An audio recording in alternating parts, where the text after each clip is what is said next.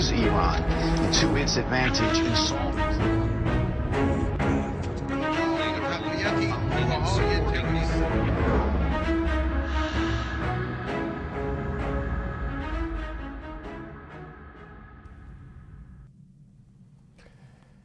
بخش خبر تلویزیون ایران فردا را با درود بر شما آغاز می کنیم. حزب الله لبنان با صدور بیانیه اعلام کرده که به یک کاروان گشتی اسرائیلی در نزدیکی مرز لبنان حمله کرده است. کمی پیشتر ارتش اسرائیل اعلام کرد که یک تانک اسرائیلی در این منطقه هدف موشک ضد تانک قرار گرفته است. منابع لبنانی می‌گویند اسرائیل مناطق جنوبی لبنان را گلوله باران کرده است. یک مقام لبنانی به اسوشیت پرس گفته که اسرائیل روستاهای مرزی جنوب لبنان را دست کم 25 بار با گلوله توپ هدف قرار داده است. بنیامین نتانیاهو نخست وزیر اسرائیل گفته است که ارتش اسرائیل آماده است با قدرت تمام علیه هر حمله ای واکنش نشان دهد.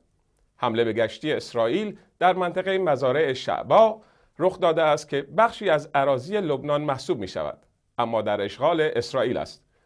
گزارش شده است که شش یا هفت سرباز اسرائیلی زخمی شدهاند که حال دو نفر آنها وخیم است. با محکومیت رسمی محمد رضا رحیمی معاون اول دولت دهم به پنج سال و 91 روز حبس و جزای نقدی و به دنبال شانه خالی کردن محمود احمدی نژاد از دفاع از دست راست کابینه اش در پرونده فساد اقتصادی حالا کار به انتقاد علنی و افشاگری در رسانه ها کشیده شده است. محمد رضا رحیمی معاون اول دولت محمود احمدی نژاد روز سهشنبه هفتم بهمن ماه در نامه‌ای که در ابتدا در خبرگزاری اینا منتشر شد با تلاش برای رد اتهامات مرتبط با فساد مالی خطاب به رئیس جمهور سابق گفت آقای احمدی نژاد به راستی نمی‌دانید یا فراموش کردید که ماجرای این پرونده چیست؟ او از رئیس جمهوری پیشین گلایه کرده که در چنین شرایطی مسلحت را دران دیده که دامن خود را از آن برچیند و از دوست عزیز و قدیمی خود پرسیده آیا بهتر نبود با اطلاعی که از صحت و سلامت زندگی من داشتید گواهی می‌دادید و شهادت می‌دادید که من به بیت المال خیانت نکردم و زندگیم به ریالی مال حرام آلوده نیست؟ آیا نباید می گفتید که رحیمی پس از عمری خدمت چون حقوق و مزایای بازنشستگیش برقرار نشده برای گذران زندگی به سختی افتاده است؟ او با اشاره به سابقه اختلافات خود با رئیس جمهور سابق می گوید رحیمی محکوم امروز چوب لجبازی ها و آبروبری های گاه و بیگاه شما را می خورد. یکی از این موارد اختلافی که در نامه به آن اشاره شده ماجرای یکشنبه سیاه و افشاگری های احمدی نژاد علیه فساد اقتصادی فاضل لاریجانی در مجلس شورای اسلامی بود که به گفته آقای رحیمی او از رئیس جمهور مسررانه خواسته بود که نکنید و آبرون نبرید و بگذارید از مجاری قانونی ماجرا پیگیری شود. آقای رحیمی در توضیح اتهاماتی که به خاطر آنها محکوم شده گفته بنای ماجرا پشتیبانی از کاندیداهای اصولگرا در سطح کشور از طریق کمک های غیر دولتی مالی بود که از طریق فردی به نام جابر عبدالی انجام شده که مورد تایید حراست دیوان محاسبات کشور بوده است. به گفته او این فرد مجموعاً یک میلیارد و دویست میلیون تومان از چک بانکی خودش به 170 کاندیدای مورد نظر دولت در انتخابات مجلس هشتم پرداخت کرده و همه آن به مصرف انتخابات رسیده است. آقای رحیمی احمدی نژاد را متهم کرده که می‌دانسته کل ماجرا همین است و متاسفانه در اثر اطلاع رسانی نادرست و مقرزانه و نگاه سیاسی خسمانه به موضوع یک کلاق و چل کلاق کردند که فلانی برده است و خورده است. اما با این حال در بیانیه دو صفحه‌ای خود جز تلاش برای براعت از رحیمی کاری نکرده است. محمد رضا رحیمی همچنین با اشاره به اصرار احمدی نژاد بر نامزدی رحیم مشایی در انتخابات یازدهم ریاست جمهوری از او انتقاد کرده که با گذشت زمان رفتارهایش متفاوت از سالهای گذشته شده بود و بیشتر به سروش آسمانی کذایی توجه می کرد. در سال آخر دولت اصرارتان بر کاندیداتوری فرد مورد نظر چنان بود که گویی از جایی به شما الهام می شده و حاضر نبودید حرفی غیر از آن بشنوید. او می‌گوید در واکنش به این اقدامات احمدی نژاد چاره این نداشتم جز اینکه برای ثبت در آینده تاریخ و برای دلگرمی همکارانم در دولت خطر کنم و به عنوان کاندیدای ریاست جمهوری ثبت نام نمایم تا به طور نمادین اختلاف نظرم را با روی کرد شما بیان کنم. و البته در نهایت باز هم به اصرار شما بازی را بار دیگر در صحنه رفاقت باختم و باز هم حرفتان را گوش کردم و علی رقم میلم انصراف دادم. او همچنین گفته در ماجرای ازل مرزیه وحید دستجردی وزیر بهداشت دولت دهم به علت تعلل در ازل رئیس دانشگاه علوم پزشکی تهران به رغم تلاشهایی که برای حفظ او در کابینه انجام شد شما لجبازی کردید و او را ازل کردید و مرا هم نزد رسانه ها و افکار عمومی سکه یک پول ساختید و البته همان موقع در جریان قرار گرفتم که با مشورت اطرافیان پیشنویس ازل بنده را هم آماده کرده بودید. آقای رحیمی در نامه خود با اشاره به پیشینه رفاقت دیرینه با احمدی نژاد گفته از ابتدا تمایلی به پیوستن به دولت نداشته و با اصرار محمود احمدی نژاد تن به این کار داده است. او همچنین خطاب رئیس جمهوری که دولت خود را پاکترین دولت تاریخ می‌دانست گفته است گیریم که امروز در منظر مردم محکوم و در آینده نیز با استناد به همین اخبار و اطلاعات آمیخته حق و باطل و منازعات دور از حق و عدالت اصلاح طلب و اصولگرا تاریخ را نیز اینگونه نوشتند اما دیر نخواهد بود که روزنامه اعمال ما نزد خدای متعال گشوده می شود و حق و باطل نمایان می گردد. با روشن شدن ابعاد گسترده تری از فساد اقتصادی در دوران ریاست جمهوری محمود احمدی نژاد که مبارزه با فساد اقتصادی را در صدر دستور کار سیاسی خود نشانده بود آتشی به اردوگاه اصولگرایان افتاده که با رؤیت آن تب تبری از احمدی نژاد و دوران ریاست جمهوریش بالا گرفته است. برخی هم در این میانه همچون الیاس نادران نماینده تهران در مجلس هشدار میدن که نباید بحث مبارزه با مفاسد اقتصادی منجر به سیاه نمایی شود. در نظامی که بانی مبارزه با فساد رهبر انقلاب است. محمد جواد ظریف وزیر امور خارجه ایران تصور تمدید مذاکرات اتمی با گروه پنج به علاوه یک را دشوار دانست و در این حال تاکید کرد که هنوز نشانه های ارادی سیاسی برای رسیدن به توافق را در طرف غربی مشاهده نکرده است. آقای ظریف امروز در مصاحبه با خبرگزاری فارس همچنین گفت دور قبل هم فکر می کردیم به تمدید نیازی نیست و در این دور نیز همین دیدگاه را داریم. وزیر امور خارجه ایران روز چهارشنبه در مصاحبه با خبرگزاری مهر نیز گفت ضرورت دارد اگر طرف غربی به دنبال دستیابی به توافق است سریعتر اقدام کند چون صبر جمهوری اسلامی بی انتها نیست ایران و شش قدرت جهانی که در آذر ماه پارسال به توافق شش ماهه هسته‌ای دست یافته اند تا کنون دو بار به خاطر عدم حصول توافق بر سر تفاهم جامعه هسته‌ای توافق موقت ژنو را تمدید کردند. محمد رضا با هنر در گفتگو با روزنامه قانون با تاکید بر اینکه حصر و مسائل هسته‌ای با رفراندوم حل نمی شود برگزاری هر گونه همه پرسی درباره سیاست خارجی را حماقت توصیف کرده و با دفاع از حصر موسوی، کروبی و رهنورد گفته است آنها حاضر نیستند بعد از آزادی سایت خبری راه نیندازند بیانیه صادر نکنند و با این وضع باید در حصر بمانند. آقای باهنر همچنین گفته هموپرسی سبکترین کار و مزرترین کاری است که یک کشور در زمینه سیاست خارجی می‌تواند برپا کند.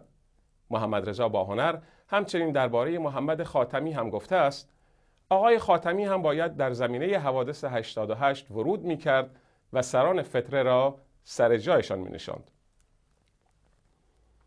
سید جمال بدوی برادر یکی از دوازده شهروند کردی که اخیرا در روستایی از توابع مهاباد بازداشت شده اند با نگارش نامه ای تصریح کرده است که رقم بعضی شایعات این افراد تنها به دلیل نپذیرفتن امام جمعه دولتی و سعی بر برگزاری نماز جماعت خود در محلی دیگر بازداشت شدند. به گزارش خبرگزاری هرانا، سید جمیل بدوی در نامه ای با تاکید بر لزوم شفاف سازی پیرامون بازداشت این افراد و مقابله با شایعات و مطالب غیر مستند گفته است جوانان دستگیر شده جزء هیچ گروه و تشکلی نبوده و نیستند و هیچ کار خشونت آمیز غیر قانونی و غیر شرعی انجام نداده اند. روز جمعه 26 دی ماه 12 تن از جوانان کرد سنی مذهب پس از اقامه نماز جماعت در حالی که خارج از شهر به سر می بردند توسط اطلاعات سپاه پاسداران بازداشت و تا کنون در بازداشت به سر می‌برند. مقامات رسمی در مورد پرونده این افراد و دلایل بازداشت آنان اطلاع رسانی نکردند. نام محسن پهلوان مدیر شرکت پدیده شاندیز به عنوان مزدون به 94 هزار میلیارد تومان اختلاس در کنار متهمان پرونده های بزرگ اقتصادی قرار گرفته است. پنج سال پیش محسن پهلوان تنها صاحب یک کبابی در شاندیز مشهد بود. برخی رسانه‌های ایران از قول غلام علی صادقی دادستان مشهد خبر از اختلاس 94 هزار میلیارد تومانی شرکت پدیده شاندیز دادند. شرکتی که ریاست آن بر عهده محسن پهلوان است. غلام حسین محسنی اژه‌ای گفته است که مبلغ دقیق این اختلاس هنوز در دست بررسی است. آقای پهلوان هنوز دستگیر نشده و تمامی این اتهامات را رد کرده است. محسن پهلوان که اینک 43 سال دارد در شهریور 1388 شرکت پدیده شاندیز را تأسیس کرد. این شرکت در اصل زیر مجموعه شرکت بزرگتر گردشگری پدیده شاندیز بود و قرار بود یک شرکت سهامی خاص با مسئولیت محدود باشد. اما پس از مدتی فعالیتهایش در ردیف شرکت‌های سهامی عام قرار گرفت. فروش سهام این شرکت با نرخ 200 تومان به 120 هزار نفر از جمله فعالیت هایی بود که در زمره شرکت های سهامی خاص قرار نمی گرفت. نرخ سهام این شرکت هم اکنون از 200 تومان به 10 هزار تومان افزایش پیدا کرده است. تبلیغات گسترده در صدا و سیما برای این شرکت ظن دولتی بودن آن را بیشتر کرد. گفته می شود 5 درصد از کل درآمد صدا و سیما در بخش تبلیغات متعلق به پدیده شاندیز است. در همین حال روزنامه فانانشیال تایمز در گزارشی که از این موضوع منتشر کرده از قول جواد قدوسی کریمی نماینده مشهد در مجلس شورای اسلامی نوشته تخلفات این شرکت تنها به دلیل جمع آوری پول از مردم نبوده بلکه بسیاری از مقامات دولتی در این پروژه شریک هستند این روزنامه از قول منابع غیررسمی نوشته که محسن پهلوان عضو سابق سپاه پاسداران بوده وی اما این موضوع را رد کرده است. تحلیلگران معتقدند چنین حجمی از اختلاس نمی توانسته بدون کمک مقامهای سیاسی صورت بگیرد. فاینانشل تایمز از قول یک تحلیلگر سیاسی نزدیک به اصلاح طلبان نوشته پهلوان از حمایت‌های مقامات سیاسی و نظامی و نیز مؤسسات مذهبی برخوردار بوده اما حالا که 120 هزار سهام آن بیارزش شده و صاحبان این شرکت نگران سرمایه هاشان هستند قوه قضایی مجبور به مداخله شده و این موضوع را تهدیدی برای امنیت ملی دانسته است. پس از متهم شدن شرکت پدیده شاندیز به اختلاس و نیز پخش اخباری مبنی بر مقروض بودن این شرکت نرخ سهام آن به شدت نزول کرده است. در همین راستا روزنامه اعتماد مصاحبه ای را با محسن پهلوان منتشر کرد. وی در سرتاسر سر این مصاحبه اصرار دارد که هیچ تخلفی مرتکب نشده و هیچ اتفاقی روی نداده است و پدیده شاندیز مانند قبل به فعالیتهایش ادامه می دهد. آقای پهلوان در این گفتگو تأکید کرده که برخی اتفاقات باعث شد قیمت سهامی شرکت از ده هزار تومان به 7500 تومان کاهش پیدا کند اما خود وی با خرید 400 تا 500 میلیارد تومان سهام قیمت را به حالت اولش بازگردانده است. وی سرمایه شرکت پدیده شاندیز را بالای 20 هزار میلیارد تومان اعلام کرده است. پهلوان در پاسخ به این سوال که این شرکت چگونه در عرض پنج سال توانسته به چنین سرمایه‌ای دست پیدا کند می‌گوید کشور در سال بیش از 100 روز تعطیلی دارد اما ما بدون تعطیلی کار می‌کنیم اصلا تعطیلی نداریم 24 ساعته هم کار می کنیم. وقتی سه برابر دیگران کار کنید و تعطیلی هم نداشته باشید سه برابر دیگران رشد می کنید. محسن پهلوان معتقد است که شرکت او در منطقه شاندیز مشهد ارزش افزوده ایجاد کرده. او به اعتماد می‌گوید من شاندیز زمین خریدم متری سی هزار تومان. امروز در این منطقه زمین متری هفت تا ده میلیون تومان داد و ستد می شود. مغازه های ما را بالای متری 50 میلیون تومان خریداری می کنند. در این منطقه کار شده ارزش افزوده ایجاد شده محسن پهلوان در پاسخ به این سوال که آیا نمی ترسد آینده همچون بابک زنجانی در انتظارش باشد می‌گوید نه نمی ترسم پدیده را از پرورشگاه نیاوردم. این پروژه را خودم زاییدم و با توجه به اینکه فرزند خودم است نمی ترسم کسی آن را از من بگیرد. بابک زنجانی که در کنار دهها فعالیت اقتصادی با عنوان دلال وظیفه فروش نفت خام ایران در بازارهای جهانی را عهدهدار بود متهم به اختلاس و تخلفات سنگین مالی است بارک اوباما رئیس جمهور آمریکا که برای تسلیت به مناسبت درگذشت ملک عبدالله وارد ریاض شده بود پس از گفتگو با ملک سلمان و دیگر و دیدار با شاهزاده مقرن بن عبدالعزیز ولیعهد دیدار رسمی خود را از این کشور پایان داد. محور گفتگوهای طرفین مسئله ثبات در بازار نفت و انرژی اعلام شد. ملک سلمان پادشاه عربستان در این دیدار گفت ریاض به ایفای نقش خود در چارچوب بازار جهانی انرژی ادامه خواهد داد و هیچ کس نباید انتظار تغییر مواضع کشور مطبوعش را داشته باشد. رهبران دو کشور همچنین افزون بر پرونده هسته‌ای ایران و تحولات یمن های بین المللی را به منظور مبارزه با تروریسم مورد بحث قرار دادند. رئیس جمهور آمریکا در رأس یک هیئت بلند پایه متشکل از سی شخصیت و مقام آمریکایی از جمله خانم میشل اوباما بانوی اول آمریکا وارد ریاض شده بود. الکسیس سیپراس نخست وزیر جدید یونان پس از پیروزیش در انتخابات دو روز پیش این کشور اعضای کابینه اش را معرفی کرد. نخست وزیر جدید یونان از طرفداران پایان دادن به ریاضت اقتصادی در یونان است و می‌گوید تنها راه این است که 320 میلیون یورو بدهی یونان بخشیده شود. اتحادیه اروپا، بانک مرکزی اروپا و صندوق بین المللی پول این مبلغ را در اختیار یونان گذاشتند. اما در اثر ریاضت اقتصادی اقتصاد یونان سی درصد افت کرده است. در انتخابات اخیر پارلمانی یونان حزب سیریزا به اکثریت مطلق آرا دست نیافت و با حزب دست راستی یونانی های مستقل ائتلاف کرده است. وزیر امور خارجه اسرائیل گفت که ایران تنها 12 تا 18 ماه زمان نیاز دارد تا به سلاح ای دست پیدا کند و اسرائیل همه گزینه ها را برای جلوگیری از چنین اتفاقی مد نظر دارد. آویگدور لیبمن پوزش می طلبم. آویگدور لیبرمن به خبرگزاری روسیه اینترفاکس گفت همه گزینه ها روی میز است. ما پس از مذاکرات شش قدرت جهانی با ایران در این زمینه تصمیم گیری و ارزیابی می کنیم که چه دستاوردهایی حاصل شده و چه مواردی نیز حاصل نشده است. لیبرمن می‌گوید که توان ایران برای ساخت سلاح هسته‌ای باعث به راه افتادن مسابقه تسلیحاتی در خاورمیانه خواهد شد. وی بار دیگر بر مواضع دولت اسرائیل مبنی بر اینکه عدم توافق بهتر از یک توافق بد است تاکید کرد و خواستار دنبال کردن مدل سوریه در زمینه حل برنامه هسته‌ای ایران شد.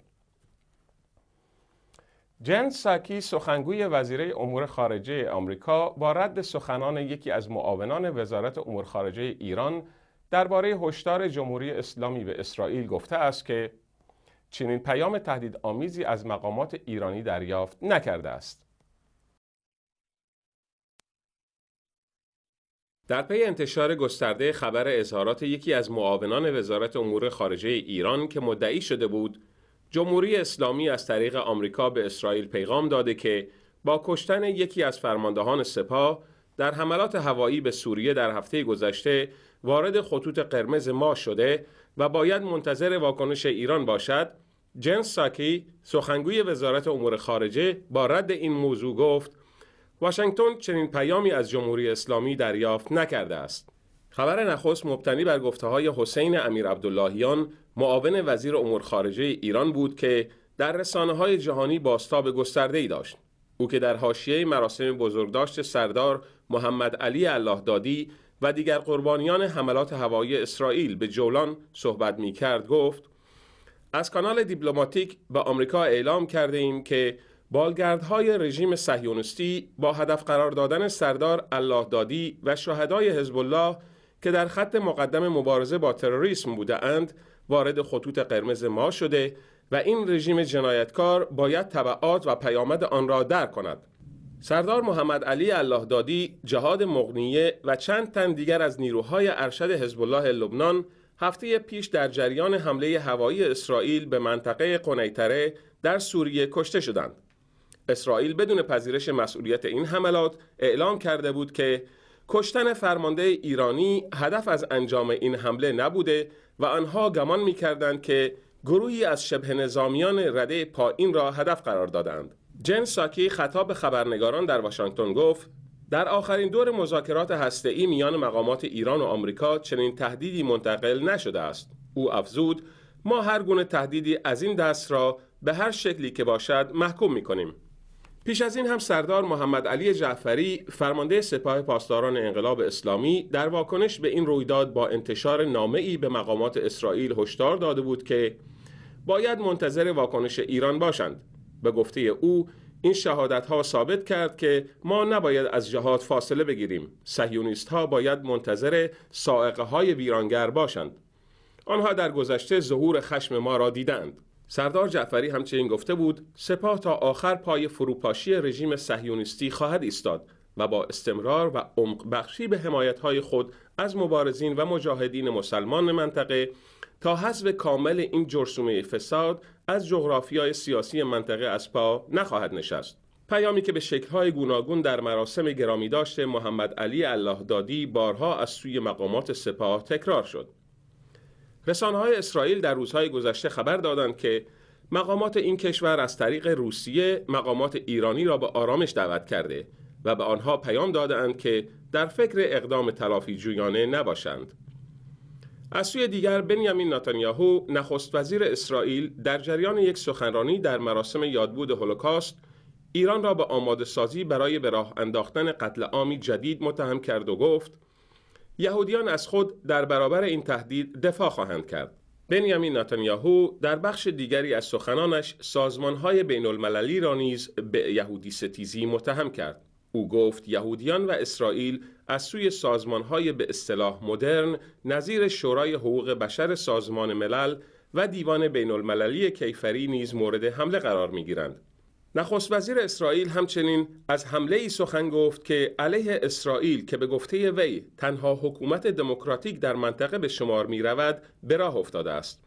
نخست وزیر اسرائیل همچنین بار دیگر نسبت به توافق هسته‌ای غرب با ایران هشدار داد و گفت چنانچه به ایران امکان داده شود این کشور در عرض چند ماه دست به توسعه سلاح‌های هسته‌ای زده و این امر منجر به ایجاد یک مسابقه تسلیحاتی خواهد شد. حصول توافق هسته‌ای به ایران اجازه استفاده صلح‌آمیز از انرژی اتمی را خواهد داد. اما در عین حال این توافق نظارت خواهد داشت که ایران هیچ فعالیتی در راستای توسعه و ساخت تسلیحات اتمی انجام ندهد. در مقابل اسرائیل خواهان آن است تا هر گونه غنیسازی اورانیوم برای ایران ممنوع شود. در پی تذکر تعدادی از نمایندگان مجلس ایران درباره تابعیت دوگانه یکی از مسئولان ارشد دفتر ریاست جمهوری روابط عمومی این دفتر با صدور اطلاعیه‌ای ضمن تکذیب این موضوع آن را تکرار یاوه سرایی های بیگانگان خوانده است.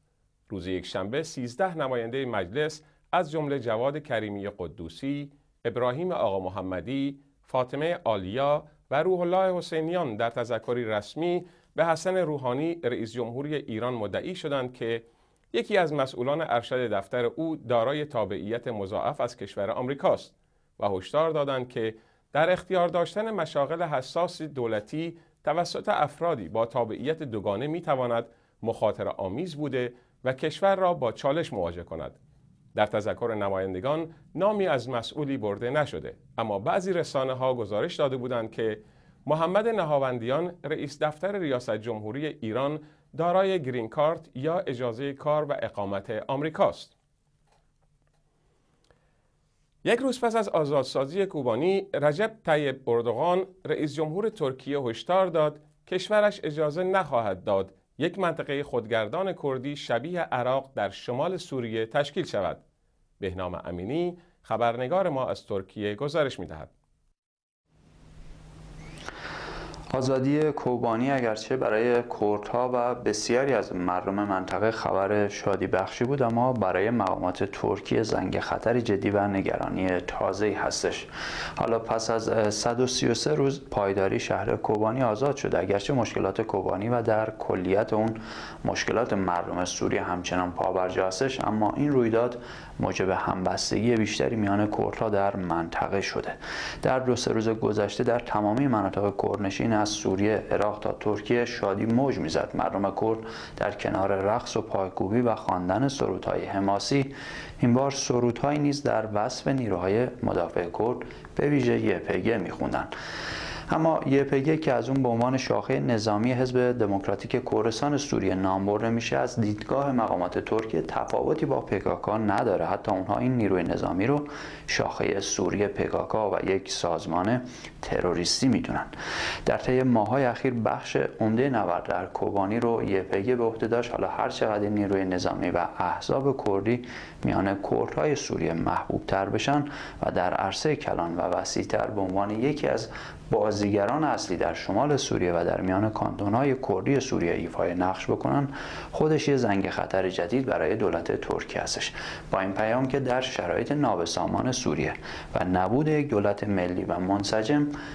تمایل برای تشکیل یک منطقه خودگردان در میان کردها محتمل خواهد بود. موضوعی که به هیچ وجه ترکیه دوست نداره بعد از تجربه عراق چنین تجربه هم در سوریه تکرار بشه. بی نیست که در نخستین اشاره رئیس جمهور ترکیه به آزادی کوبانی او با سراحت میگه ما نمی‌خوایم شاهد عراق دیگه در سوریه باشیم. آقای اردوغان که با های ترکیه در این باره صحبت می‌کرد روز گذشته گفت که تشکیل یک حکومت خودگردان شبیه عراق در سوریه مشکلات بزرگی در آینده برای ترکیه به همراه خواهد داشت. او گفت به همین جهت هستش که با وجودی که تحولات سوریه هزینه های سنگینی رو بر دوش ما گذاشته اما ما تحمل می‌کنیم. بر روی بسیاری از کارشناسان هم معتقدند فشار ترکیه بر نیروهای ائتلاف و به ویژه امریکا برای ایجاد منطقه حائل و منطقه پرواز ممنوع در شمال سوریه ناشی از همین نگرانی هستش. اما طی یکی دو روزی که از آزادی کوبانی میگذره بسیاری از آورگان کور سوری که به ویژه در منطقه شانلیورفای ترکیه سکونت دارن آرام آرام دارن به کوبانی برمیگردن. مشخصا اردوگاه مرزی سروش که فاصله چند کیلومتری با کوبانی داره ساکنانش تمایل دارن که به این شهر برگردن و بازسازی شهر رو آغاز بکنن. اگرچه بسیاری از زیرساختهای کوبانی از مراکز دولتی گرفته تا بیمارستان و مدرسه در طی مدت از بین رفته و شرایط زندگی بسیار دشوار شده در طی چهار ماهی که از محاصره کوبانی میگذره بالغ بر 200 هزار نفر از شهروندان کرد سوری به استانهای جنوبی ترکیه پناه آورده بودند پارلمان افغانستان امروز چهارشنبه هشت نامزد وزیر و رئیس امنیت ملی را تایید و ده نامزد وزیر را رد کرد. با پایان رأیگیری امروز مجلس افغانستان به تعطیلات زمستانی رفت. دولت افغانستان باید در مدتی که پارلمان در تعطیلات به سر می‌برد وزارتخانه هایی که وزیر ندارند را با سرپرست اداره کند و فهرست جدیدی از وزیران پیشنهادی را برای 16 وزارتخانه و ریاست بانک مرکزی آماده کند. وجود سرپرست ها در سه چهار ماه گذشته انتقادهایی را به همراه داشته است. ای از شبه نظامیان گروه داعش در حمله مسلحانه به یک هتل مجلل در ترابلوس پایتخت لیبی چندین نفر از جمله پنج خارجی را کشتند. منابع امنیتی لیبی که خبرنگاران را از محل دور نگه داشته بودند بدون اشاره به جزئیات گفتند حمله کنندگان افرادی را در هتل به گروگان گرفتند اما این گروگان ها به دست پلیس آزاد شدند. یکی از کارمندان هتل گفته است پنج مهاجم نقابدار با جلیقه های ضد گلوله به ساختمان یورش بردند. ماموران امنیتی سعی کردند در ورودی های هتل مانع از آنها شوند اما مهاجمان در لابی هتل بی هدف به سوی کارمندان آتش گشودند. همزمان صد متر دورتر از محل نیز بمبی منفجر شد. مقام های پاکستان می‌گویند در پی حملات هوایی در مناطق قبیله نشین در شمال این کشور و در نزدیکی مرز با افغانستان 76 ستیزه جو کشته شدند. ارتش پاکستان گفته است که دو حمله در وزیرستان شمالی مخفیگاه های ستیز جویان را هدف گرفته بود. بر اساس این گزارش در این حملات افراد غیر پاکستانی نیز کشته شدند. از ماه ژوئن سال گذشته ارتش پاکستان حملاتی را علیه طالبان پاکستان و همچنین سایر گروه های ستیزجو در شمال این کشور آغاز کرده است. در این رشته عملیات گفته می شود که تا کنون بیش از 1800 ستیزجو کشته شدند. مراسم 72 دومین سالگرد آزادی اسیران اردوگاه مرگ آشویتس بعد از ظهر روز 27 ژانویه در محل این اردوگاه در لهستان برگزار شد. رؤسای جمهوری آلمان، اتریش و فرانسه از جمله شرکت کنندگان در این مراسم بودند. ولادیمیر پوتین رئیس جمهور روسیه در حالی غایب این مراسم بود که سربازان روس آزاد کننده اسیران اشویتس بودند. حدود 300 تن از اسیران آزاد شده این اردوگاه نیز در این مراسم حضور داشتند. بر اساس پوزش میطلبم بر اساس آمار رسمی شمار کشته شدگان در اردوگاه اشویتس در سالهای 1940 تا 1945 بین یک میلیون و صد هزار تا یک میلیون و پانصد هزار نفر ارزیابی شده است که اکثر آنان را یهودیان تشکیل می‌دادند. رمضان شریف مسئول روابط عمومی سپاه می‌گوید عملکرد سپاه پاسداران برخلاف سازمانهای دیگر منفعت طلبانه نیست و کارنامه اش تنها آکنده از عطر شهادت و ایثار است. این اظهارات در واکنش به سخنان چندی قبل حسن روحانی است که تلویحا سپاه را به فساد متهم کرده بود. رمضان شریف مسئول روابط عمومی سپاه خطاب به افرادی که تلاش می کنند عملکرد سپاه را زیر سوال ببرند نوشته آنها از برنامه های دنیای استکبار برای به زانو درآوردن ایران بیخبر هستند. وی گفت عملکرد سپاه پاسداران برخلاف های دیگر منفعت طلبانه نیست و سراسر کارنامهش تنها آکنده از عطر شهادت و ایثار است. شریف با خطاب قرار دادن آنهایی که با تحلیل های گوناگون در تلاش هستند عملکرد سپاه را مورد سوال قرار دهند افسوده آنها از واقعیت هایی که در عمق استراتژیک ایران اسلامی میگذرد ناآگاهند. وی ادامه داده این افراد نمی‌دانند در اتاقهای فکر و نهادهای امنیتی قدرتهای غربی درباره منطقه خاورمیانه چه طرحهایی صورت می‌گیرد.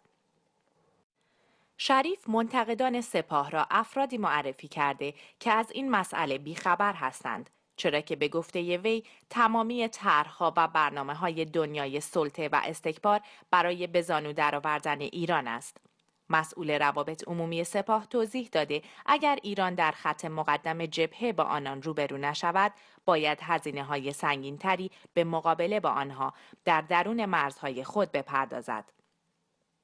شریف خطاب به کسانی که سپاه را با معیارهای سیاسی و اقتصادی میسنجند هم نوشته بدانند سخت در اشتباهند چون این نیرو هیچگاه وارد بازی های بی حاصل نشده است. چند روز پیش نیز عبدالله حاج صادقی جانشین نماینده ولی فقیه در سپاه در واکنش به یادداشت جنجال برانگیز سایت خبر آنلاین گفته بود ورود سپاه به مسائل اقتصادی هرگز منفعت طلبانه نبوده است. حاج صادقی افسوده بود سپاه پاسداران در حوزه اقتصاد تاجر مابانه وارد نشده که منجر به بروز فساد شود. وی از کسانی که بر اساس گزارش های غلط سپاه را متهم به فساد و منفعت طلبی می کنند خواسته مصادیقی برای سخنان خود ذکر کنند. جانشین نماینده ولی فقیه در سپاه در عین حال افسوده در سپاه پاسداران های نظارتی کافی برای جلوگیری از بروز هر گونه فسادی وجود دارد. محمد حسین سفار هرندی مشاور فرمانده سپاه نیز در همین رابطه گفته افراد بیمعرفتی می‌خواهند پروبال سپاه را بچینند و می‌گویند سپاه به خاطر داشتن قدرت، ثروت و رسانه به مجموعه خطرناک تبدیل شده است. سفار هرندی با بیمعرفت نامیدن روحانی به صورت غیر مستقیم گفته دولت نیز قدرت، ثروت و رسانه در اختیار دارد و اگر دو تا فرد خراب از کار درآمد آیا باید ما را متهم کنند که از اصل فاسد هستیم؟ همه این اظهارات در واکنش به اظهارات چندی قبل حسن روحانی و یادداشت جنجال برانگیز سایت خبر آنلاین درباره فساد برخی فرماندهان سپاه بیان شده است. حسن روحانی هفتم آذر ماه گفته بود اگر تفنگ، پول، قدرت، روزنامه، سایت، خبرگزاری و تبلیغات در یک جا جمع شد، ابوذر و سلمان هم باشد فاسد می شود. سایت خبر آنلاین نیز هفته گذشته با انتشار یک یادداشت جنجالی سپاه را متهم به فساد کرده و نسبت به افزایش قدرت بدون نظارت این نهاد نظامی هشدار داده است. با وجود حذف این یادداشت و عذرخواهی سایت خبر آنلاین حملات رسانه های وابسته به سپاه به این سایت نزدیک به دولت حسن روحانی همچنان ادامه دارد برخی از محافظه‌کاران تندروی نزدیک به سپاه می‌گویند این یادداشت در ادامه کنایه چندی پیش حسن روحانی به سپاه منتشر شده است رسانه های سپاه و بسیج و محافظه‌کاران حامی یا نزدیک به این نهاد نظامی نیز به این اظهارات روحانی و یادداشت خبر آنلاین واکنش نشان داده و آن را محکوم کردند. از اینکه تا پایان بخش خبر ما را همراهی کردید از شما سپاس گذارم. شاد و پیروز باشید.